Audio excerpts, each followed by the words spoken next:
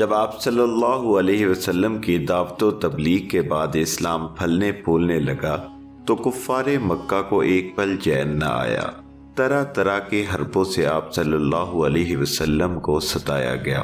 حتیٰ کہ آپ کو کئی دفعہ نعوذ باللہ قتل کرنے کی سازش بھی بنائی گئی۔ اور ہر دفعہ آپ صلی اللہ علیہ وسلم کی حفاظت اللہ تعالیٰ نے فرمائی۔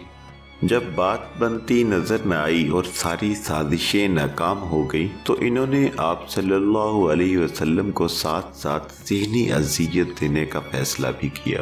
آج کی اس ویڈیو میں ہم آپ کو بتائیں گے کہ کس طرح مسلمانوں پر ظلم و ستم کا بازار کرم کیا گیا۔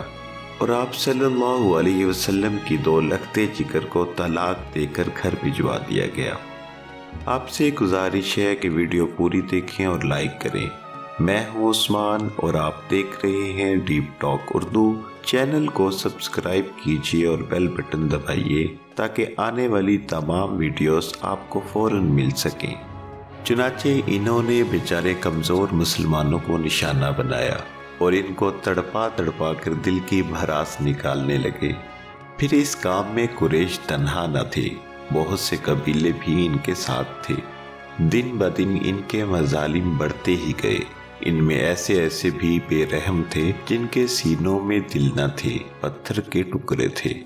ان ظالموں نے بےکس مسلمانوں کو قید کیا، مارا، پیٹا، بھوکا، پیاسا رکھا، مکہ کی تپتی ہوئی ریت پر لٹایا، لوہے کی کرم سلاخوں سے داغا، پانی میں گوتا دیا اور نہ جانے کیا کیا کیا۔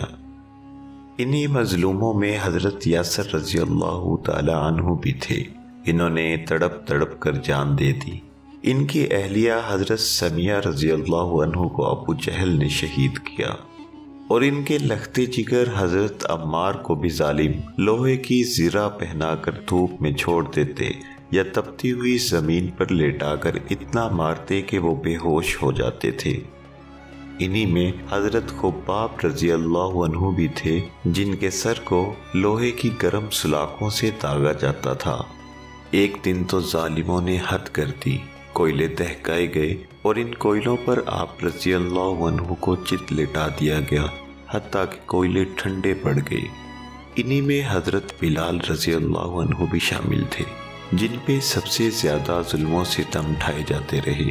حضرت بلال خلف کے بیٹے امیہ کے غلام تھے۔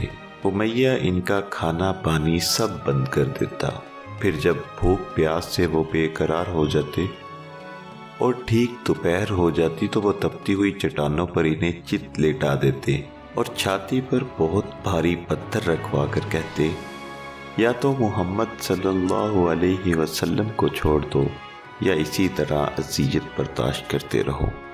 مگر ان کی زبان مبارک سے آہد آہد کے علاوہ کوئی الفاظ نہ نکلے۔ آپ صلی اللہ علیہ وسلم کا جب بھی یہاں سے گزر ہوتا یا آپ صلی اللہ علیہ وسلم کسی سے سنتے تو تڑپ اٹھتے۔ یہ آپ صلی اللہ علیہ وسلم کے لیے بہت ہی تکلیف دہ وقت تھا۔ بات یہاں تک بھی نہ تھمی۔ بات آپ صلی اللہ علیہ وسلم کی دو لگتے جگر رقیہ اور ام کلثوم پر آ گئی۔ جہاں آپ صلی اللہ علیہ وسلم کے چچا ابو طالب آپ کا ہر موقع پر ساتھ دے رہے تھے۔ وہیں ابو لہب نے آپ صلی اللہ علیہ وسلم کو ستانے میں کوئی کسر نہ چھوڑی۔ رقیہ اور ام کلثوم آپ صلی اللہ علیہ وسلم کی دو بیٹیاں تھیں۔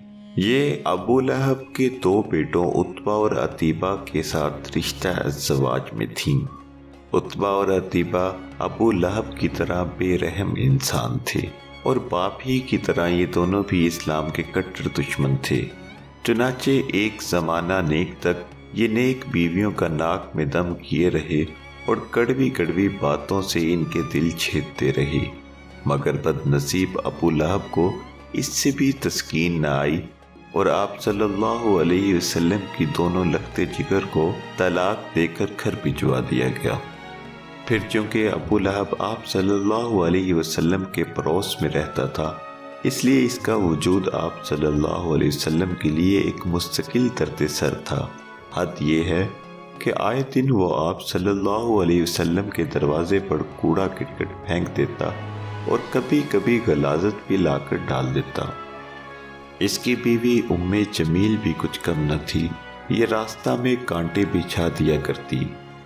دشمنوں کا آپ صلی اللہ علیہ وسلم کے ساتھ یہ برتاؤ تھا، مگر اس پر بھی آپ صلی اللہ علیہ وسلم نے شرافت کا دامن کبھی ہاتھ سے نہ چھوڑا۔ اور ان کی بدتمیزی کا جواب ہمیشہ اعلیٰ ظرفی اور خوش اخلاقی سے دیا۔